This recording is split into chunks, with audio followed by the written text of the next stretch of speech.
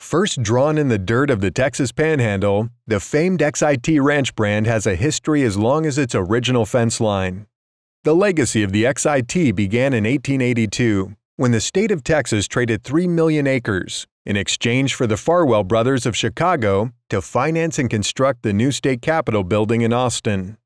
To secure the enormous amount of financing that would be necessary to develop the Capitol building, John V. Farwell traveled to England in late 1884 and succeeded in forming the Capitol Freehold Land Investment Company of London.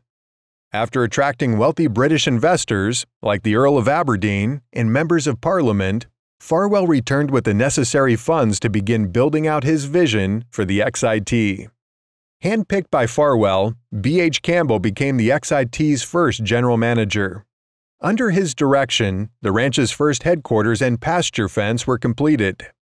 Campbell also began to seek out longhorn cattle in central and south Texas. On July 1, 1885, the first herd of 25 head arrived at the ranch. Within the next year, 781 miles of XIT range was fenced, and just under 111,000 cattle, valued at $1.3 million, had been purchased. As ranch operations became more organized, the northern and southern regions of the ranch were divided into eight divisions. Each division had a section headquarters, a foreman, its quota of employees and horses, and specific characteristics.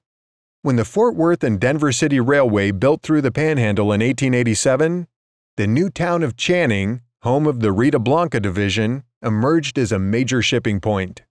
As a result, it became the center of ranch activities, and the XIT General Office was established there in a Victorian building that still stands today. By the turn of the century, 325 windmills and 100 dams have been erected on the XIT. At its peak, the XIT Ranch boasted over 150,000 head of cattle, 6,000 miles of fencing, and was considered the largest cattle ranch in the world.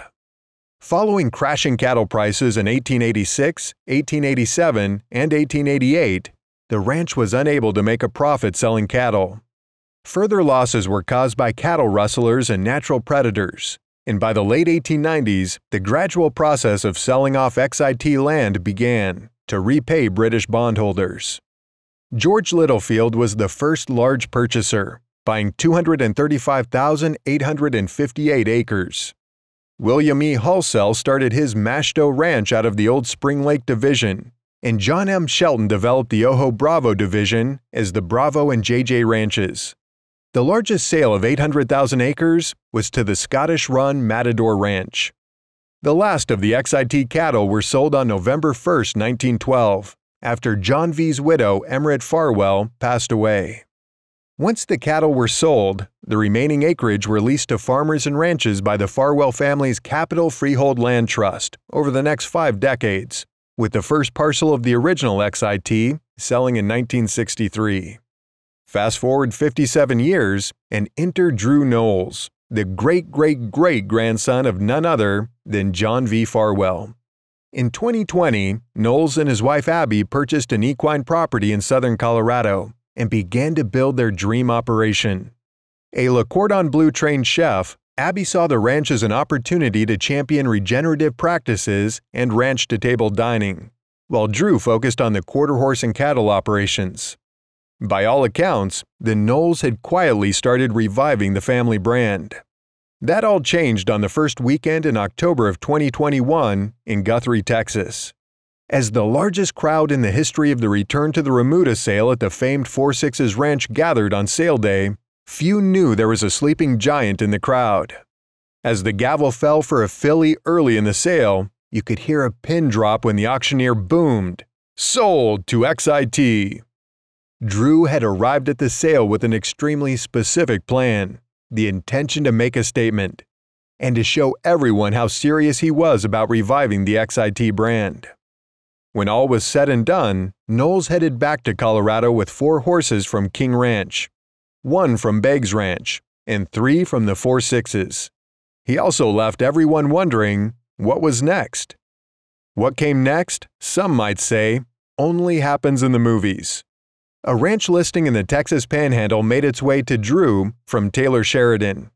As fate would have it, the available 11,520 acres sat inside the original XIT's Rita Blanca division, just west of Channing, Texas. After much due diligence, several visits, and 60 years, the legendary XIT Ranch has returned to Texas, with XIT branded cattle grazing on original XIT rangelands that is back in Farwell family hands. In August of this year, the XIT sent shockwaves through the performance horse industry when it announced that they had acquired famed NCHA stallion Kit Kat Sugar.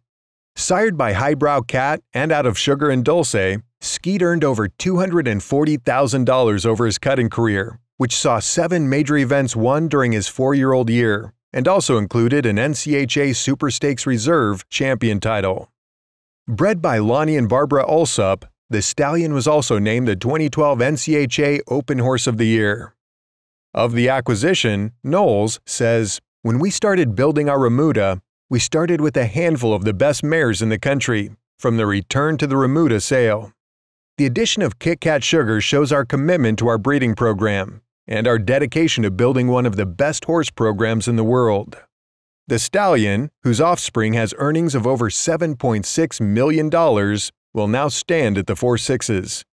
In addition to its horse program, the XIT is raising some of the highest quality Angus and American Wagyu in the nation. Their commitment to a stringent genetic program yields consistent quality and high body scores. XIT cattle are both hormone and antibiotic free. Today, the ranch keeps with age old traditions of roping calves and dragging them to the fire for branding. Tradition and commitment to land stewardship are hallmarks of the XIT and what Knowles hopes to pass on to the next generation.